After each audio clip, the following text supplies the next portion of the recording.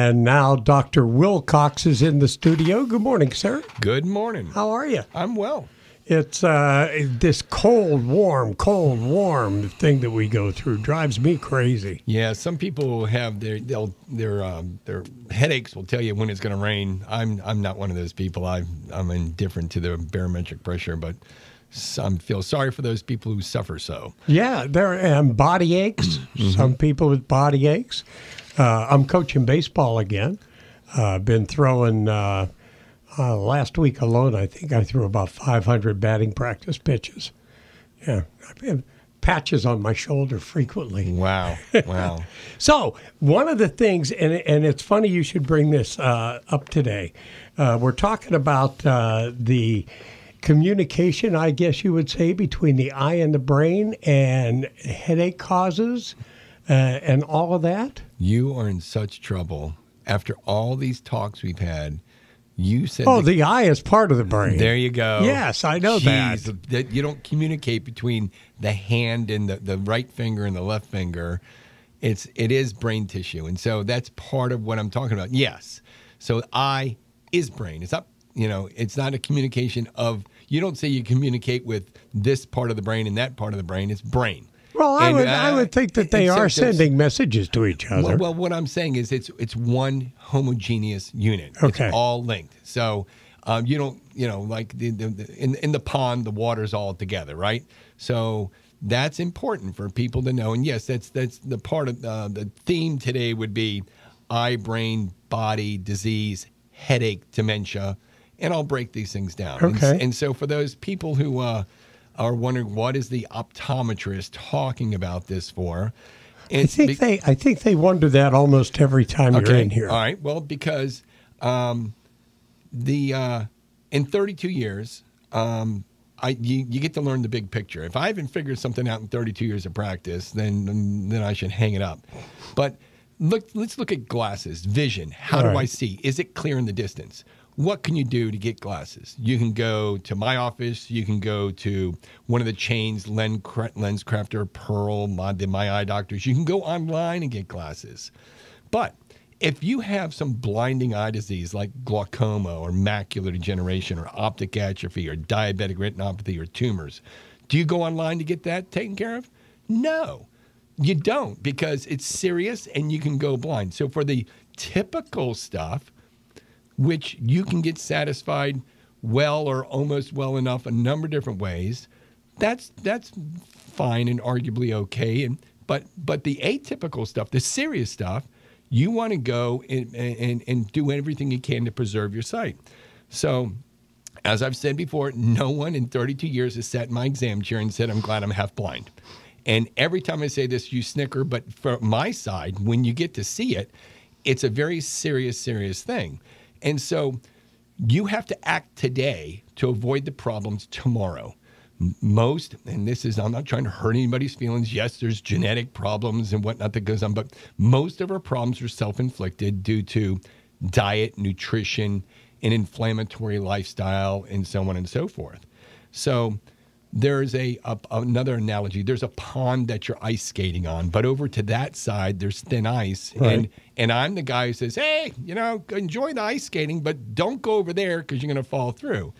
And people will say thank you, and then they're going to do what I'm advising them to do just because I know stuff. And skate to. right over. And people will go skate in the thin ice and they'll fall through.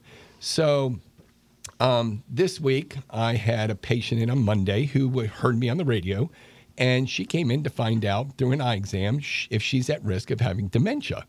You know, I'm like hugging her and go, "Oh, you get it." So, so uh, yeah, I'm doing the routine eye exam. You know, check the prescription and figure all this, that, and the other thing out. And we used an instrument that lets us measure the thickness of the nerve fiber in the brain called the retina, and um, and there is an indicator, a linking to when you see a thin retina, that there's a thin brain and the parts of the brain that are contiguous at the same as. And she was fine. And so when I before I did it, before I we did this scan, I said, "Okay, let's let's let's have this talk. If I find out that you have a thinned nerve fiber layer which is is almost we're finding more and more and more with research that it's kind of almost always correlated to current or future brain problems because it's brain tissue. Um, what are you going to do about it? Are you going to be willing to do? And I listed X, Y, Z things that she can do. She said yes. So she came in seeking um, advanced warning systems for a brain problem. And she didn't have it, that's great. But we still discussed what people should do to improve their circulation, improve their perfusion, get the dead cells out of your body. It's there's this when you have these dead and dying cells. It's kind of like trimming a tree. Right. You get the weak branches out, and then the tree grows better. And and um, and it's it's no more uh, different than that. So that was a Monday patient who came in through my talks here on the radio, and I appreciate it. Um, By the way, Ted on the road just texted in good morning. Oh, you know what? I met Ted on the road. I didn't know he was a patient of mine. He's like, "Oh, hey Ted, how you doing?" and um, so I was like, "Oh, you're Ted on the road." Um, so another one, migraines. Okay. Yes. Okay. So we, uh, they're they're taken care of a number of different ways, but the best thing to do with anything is the least you have to do. You you want to use the least complicated, the least involved, the least toxic, the least synthetic way of fixing something. You go to the root cause of the problem. And I can't tell you the number of people who have chronic and, migraines, headaches, cephalgia, head pain behind the eyes, here, there, and the other place, that are fixed by aligning the eyes with some prisms and some fancy stuff we call Neurolenses, and or using these nutraceuticals that help your body release this stuff called nitric oxide, which is a vasodilator. So the um, the the body has is a chemistry set, and it needs to be have uh, information to trigger events. An event is the dilation of a blood vessel, making it bigger. Okay. One reason we have high blood pressure is because the blood vessels are small. So if you're supposed to have two inch pipes with water going through it and you reduce it, choke it down to one inch pipes, the pressure goes up. Right. Okay. So if you do things that allow this um, appropriate release of this natural molecule in the body called nitric oxide, then you dilate your blood vessels and you avert or resolve the, the headache if it's a frequently headaches are because of vasoconstriction. And um, now, when you eat a piece of green spinach, green spinach does not go to the tip of your finger. Your body breaks it down and tears it apart into component pieces, into molecules and, and whatnot. And then there you get these little guys in shopping carts. And just imagine this picture little guys in shopping carts who are putting things in their shopping cart to build what they're responsible for building. So we have this reconstruction through our genetic code and all these different complicated processes of these raw materials. So, one more analogy you want to build 100 automobiles. You have 400 car tires, you have 100 engines, you have 200 side view mirrors, but you have one steering wheel. Well, guess what? You're only building one car.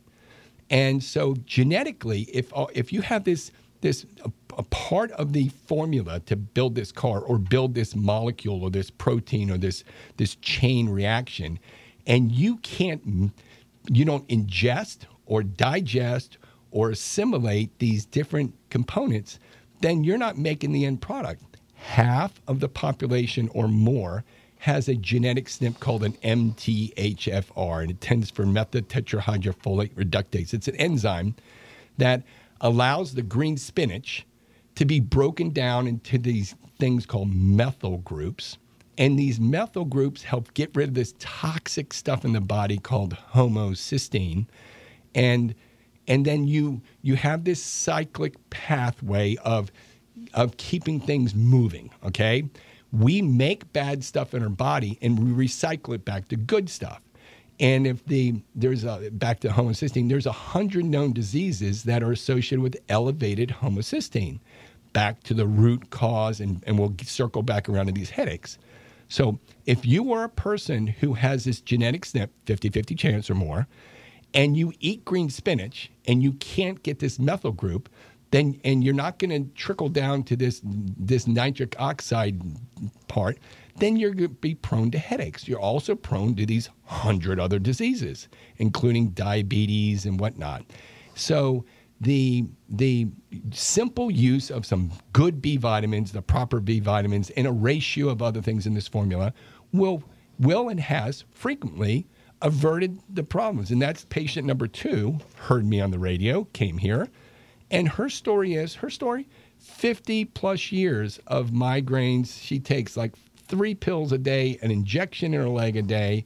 And the secret sauce for her, and I'm not saying this is true for everybody, the secret sauce was taking this Ocufolin with this formula.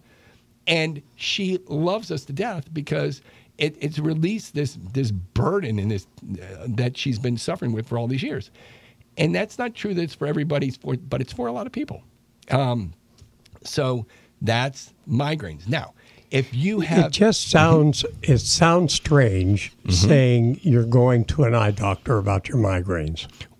Well, okay. But everything you're saying makes but, sense. But people will come in um, and say, I had a migraine and I lost my peripheral vision. Got it. Okay. Got it. And they'll have these occipital migraines. Okay. And so they do come to me for this, but the people come to me all the time. And, and on the case history, it's, it's, it's, a, it's a case history. What's wrong with you? And uh, just because they have pancreatic cancer doesn't mean I'm doing anything with that. But if they have migraines, now they're in my area because if I'm a microcirculation guy, my responsibility to for you to keep your vision today, tomorrow, and the rest of your life as good as well as possible, is to make sure your circulation's good. In the body, there's no greater uh, presence of, mic- of of small blood vessels, tiny, tiny, tiny things. One red blood cell has to has to contort itself to get through these tiny little blood vessels, and uh, and so since if you have a circulation problem in the in the body, it's going to affect your eyes first. It's like the canary in the coal mine. And so we see um, a lot of problems that are going to propagate themselves throughout the whole body.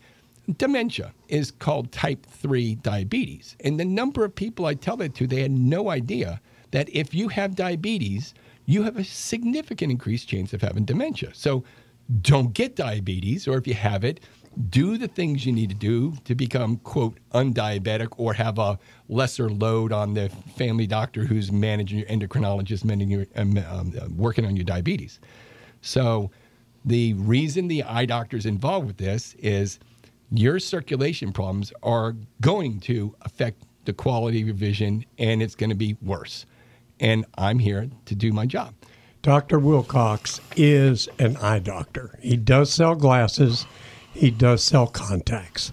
Uh, if you are looking for an eye doctor, his office is geared to do that. And I and I always want to say this to to at a comfort level. yes Um, but when you come in, there may be something that he sees, and he will discuss options with you. If you're interested, great. If not, let's go pick out a pair of glasses. And thank you for restating that. And I, I, I, I enjoy doing these things. I have a responsibility to do things. I, I always view myself as being the, the your employee. You're the patient. I'm your employee. I'm supposed to do a good job, and I'm supposed to do a great job. And if we're just sticking to the routine stuff, fine, good, wonderful. But I'm always going to sprinkle. You can't get my office without seeing these different things, videos playing, and this, that, and the other. And um, and fr- I'm I'm very well received, almost all the time by everybody. Dumb jokes and all this sort of stuff aside. I'll- Um, I'll- my dog comes to the that. office. People come to my office to see my dog. He comes in there most days and hanging out and inspecting people. But um, the um, uh, let me see what else do we have? Um, so the gentleman who came in recently, who was uh, who had the he had COVID, and on the left side of his head he developed shingles because his immune Gentlemen, we talked about you know, Okay. last week. So he just for if people didn't hear. So, gentlemen, month prior to seeing me, COVID, shingles on the left side of his head and on the tip of his chin, his night sweats, his left eye didn't work right, his left eye didn't close right. He had Bell's palsy. He the left side of his tongue didn't work right. He lost his sense of taste. And if he brushed his teeth, he had a gag reflex, and there was a couple other things he came in and since he's got eye problems i get to raise my hand and say okay i'm going to help you with your eye problems and in and in using these bioelectric signals in these magnetic fields, which are used out there, and if people don't know about it, then you know it's there.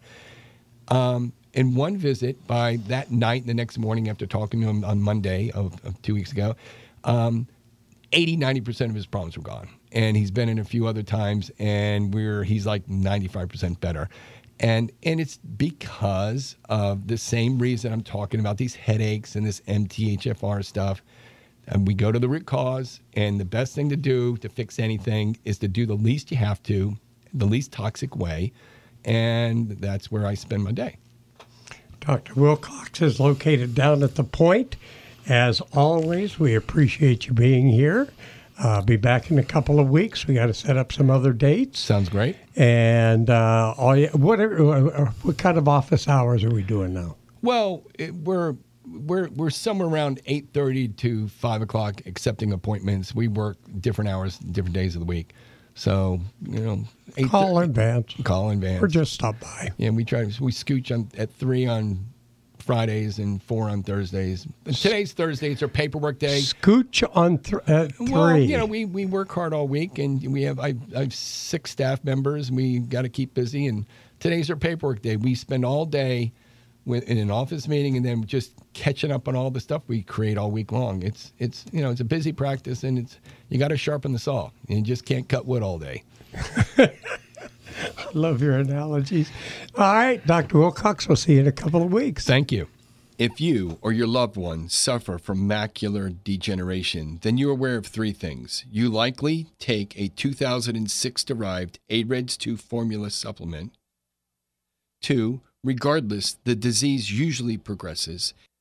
And three, advanced cases of the disease require routine injections of drugs deep into the eye. The good news is the AREDS2 researchers just published a major review and presented a new AREDS3 formula. It so happens that formula already exists in the medical food called Ocufolin, which our office has promoted for over five years. This formula is more likely to slow, stop, and even reverse the progression of macular degeneration. Learn more Come by the Wilcox Eye Center at 2652 George Washington Memorial Highway in Hayes or call us at 804 642 9800. 804 642 9800.